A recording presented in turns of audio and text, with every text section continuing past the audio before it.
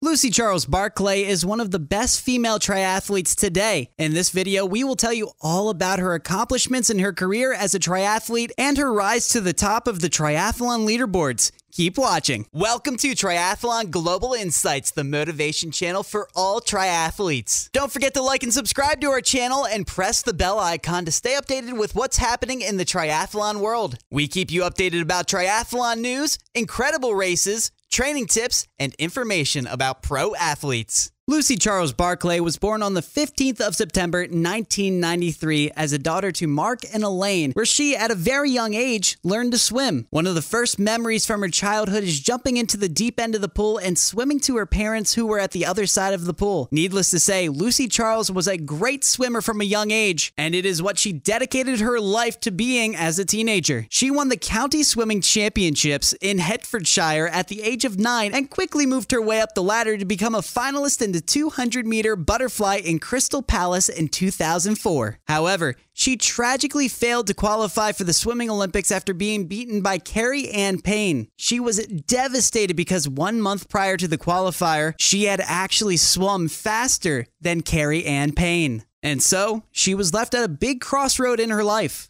continuing her journey as a professional swimmer and qualifying for the next Olympics, or quit the sport and sports in general. Lucy chose the third option of turning her attention to Ironman triathlons, a sport where her swimming background came in very handy. With renewed energy and even hungrier than before, Lucy took to triathlons like a duck to water and was the first from her age category to finish the 2015 Ironman World Championship. The Brit specialized in the full Ironman and middle distances and excelled and went on to win the Ironman Lanzarote in May 2017 and the Challenge Family Championship. Lucy is also one of the most popular and marketable triathletes in the world, having a YouTube channel with 70,000 subscribers, a dedicated site, and being very active on social media. It wasn't a big surprise when she got more and more sponsors such as the energy drink giants of Red Bull, who have made a name for themselves being a brand that likes to support the most eye catching athletes. Lucy is often seen wearing a Red Bull branded cap or bike helmet. Speaking of sponsors, her signature color is pink, and her bike sponsor gave her a pink bike to race with. Ever since the color pink has been synonymous with Lucy, she is also sponsored by Roka and Endura, which are praised high among triathletes for their quality of products. Her most impressive feat is when she finished a swim in only 48.29 and finished second behind Sarah Crowley, which started to give her more and more attention. At the 2017 Ironman World Championship, she finished second place again behind the dominant four four time world champion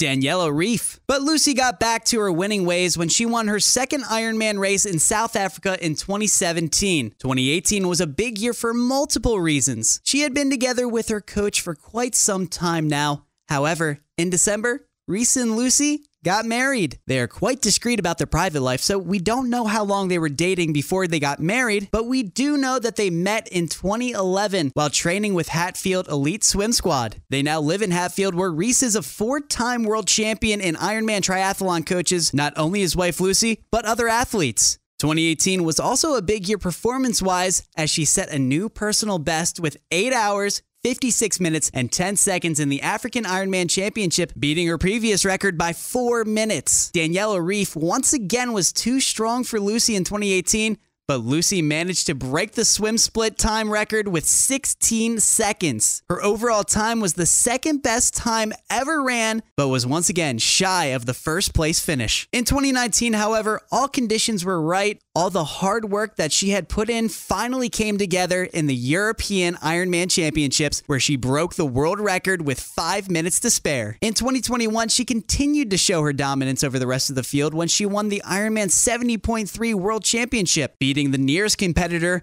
by eight minutes, clearly putting a statement to the world that she was no doubt the best female triathlete there is. Unlike many other triathletes, Lucy qualified as an open water swimmer compared to most others who lack pure swimming pace to be the best of the best. Other athletes lacked a history in swimming to compete with Lucy. This is why Lucy Charles Barclay is a true one of a kind athlete. To portray her kind of dominance in not only swimming, but also in cycling and running is simply incredible. Now, you might ask what the next big accomplishment could be for a woman who has already achieved everything, in May, Lucy will once again participate in the St. George Ironman World Championship, where she will be able to defend her title. And in October, the long awaited World Championship in Kona, Hawaii will be held. Lucy is also a part of an elite group of triathletes to attempt the Sub 7 Sub 8 Challenge. For those who don't know what that is, in the Sub 7 Sub 8 Challenge, male triathletes will attempt to complete a full Ironman triathlon within the seven hour mark.